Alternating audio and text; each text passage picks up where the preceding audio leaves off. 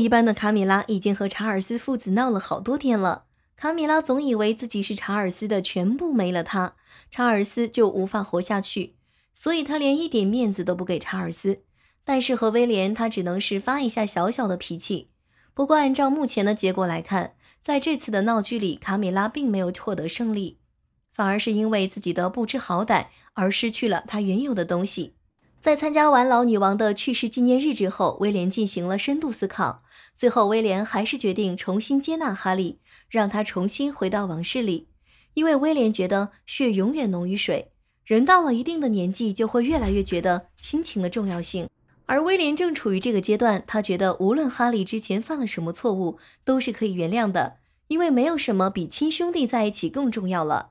但这直接影响了卡米拉之子汤姆进入王室的计划，而卡米拉也本着干不过继子就找查尔斯算账的原则，直接对外都出了查尔斯的一些黑料，比如查尔斯脾气不好，经常痛骂工作人员，以及每天要吃一些奢侈的早餐。其实。查尔斯作为一个老宝宝，直接到国王的跨越，其实是可以理解的。查尔斯本来就是养尊处优的少爷，其次一直都很少有人能够庇护儿子七十多年，宠溺七十多年，有点坏习惯也是很正常的。但这一次，查尔斯对卡米拉的行为感到十分生气。据悉，查尔斯生气的原因并不是因为卡米拉爆料的内容，而是不想接受卡米拉的威胁。为此，卡尔斯也做出了一个强有力的回应。自从卡米拉加冕完之后，他就一直想把自己的孙辈们拉入王室，尤其是儿子直接想取代威廉的位置。但查尔斯迫于王室其他人员压力，一直没有答应他。卡米拉也看到希望渺茫，于是卡米拉又转变了想法。既然权力无法赐予，那么得到一些财产也不错。于是他和查尔斯又是一顿软磨硬泡。结果查尔斯也不知道是哪根筋搭错了，居然答应了卡米拉的无理要求，让汤姆和威廉享有同等的继承权。诡计多端的卡米拉为了防止查尔斯走到自己面前，而威廉不承认，于是要求查尔斯把这个要求写进遗嘱里。可毕竟这不是一件小事，还没等实行就被安妮公主扼杀在摇篮里。于是遗嘱的事情并没有落实，但查尔斯确实口头答应了卡米拉。但这次卡米拉抖出黑料这件事，的确让伤了查尔斯的心。于是他直接公布了遗嘱的分配方案，来回应卡米拉。而卡米拉也为自己的做作买了单。查尔斯决定将自己所有的遗产都留给威廉，连哈利都没有提及到。这让毫无准备的卡米拉一时陷入了被动的局面。卡米拉做梦都没想到查尔斯会突然来这一招。这个决定无疑让他在王室里潜伏了这么多年毫无收获。好歹之前还答应给汤姆那一部分的财产，但是现在却和汤姆没有任何的关系。这也让卡米拉明白自己的地位和价值。据王室仆人透露，这次卡米拉真的哭了，这也是仆人见到卡米拉为数不多的哭泣。估计卡米拉的泪是因为他觉得查尔斯并不是真的爱他，他从始至终都是棋子。其次是儿子汤姆真的是得不到任何财产了。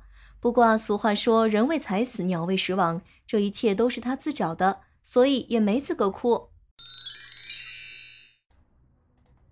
吵翻了！凯特不愿让乔治读寄宿学校，查尔斯拒绝。威廉做法太解气，英国王室整个继承顺序都上升了一级。凯特·米德尔顿和威廉王子的儿子乔治王子成为了王位的第二顺位继承人。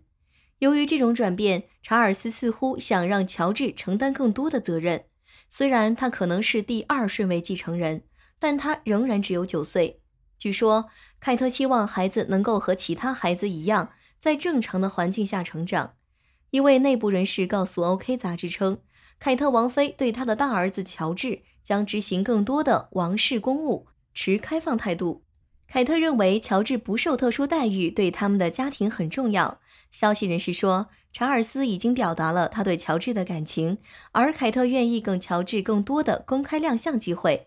然而，知情人士补充说，凯特据称有一个条件，在每项公务下达之后，他需要替乔治王子把关，并且只有在他同意下，儿子才能执行每项王室公务。对他来说，国王对他孩子的决定并不是最终决定。他已经说得很清楚了，如果这引发了裂痕，甚至是一场全面战争，那么他会秉持顺其自然的态度。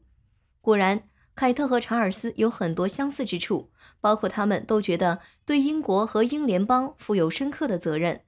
但在养育自己和威廉的孩子方面，凯特却截然不同。国王已故的父亲菲利普亲王、国王本人以及他的兄弟安德鲁王子和爱德华王子，就曾读于苏格兰的一所精英寄宿学校——戈登斯敦。威廉和哈里都曾就读于寄宿中学伊顿公学。乔治和他的兄弟姐妹们在布兰克鲁上学，但他们不在那里寄宿。这证明，虽然凯特会听取意见。但最终，他和威廉对孩子们的事情有最终决定权。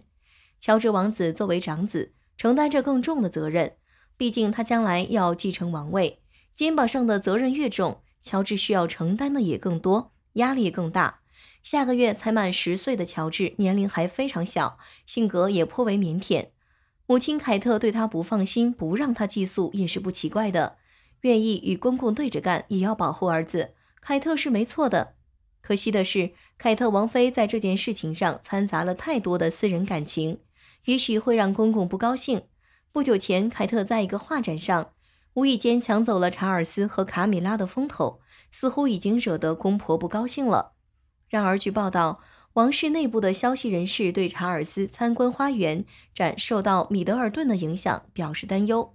媒体对米德尔顿的大量报道，可能让查尔斯觉得儿媳让他黯然失色。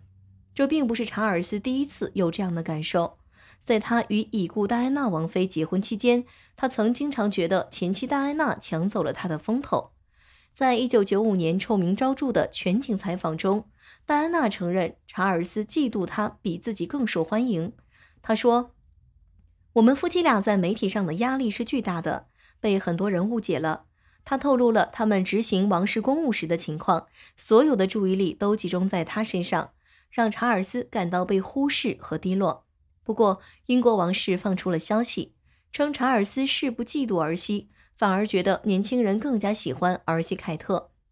凯特多现身，对英国王室是有百利而无一害的事。英国国王看来不像传闻中的那么心胸狭窄。目睹凯特王妃和查尔斯国王因为乔治王子的教育问题吵翻，身为婆婆和妻子的卡米拉的反应让人侧目。她作为两个孩子的母亲，竟然完全没有站在凯特那边，还一言未发，看着儿媳和丈夫发生争吵。另一方面，威廉王子也是站在凯特王妃这边的。卡米拉这样做无视了威廉的感受。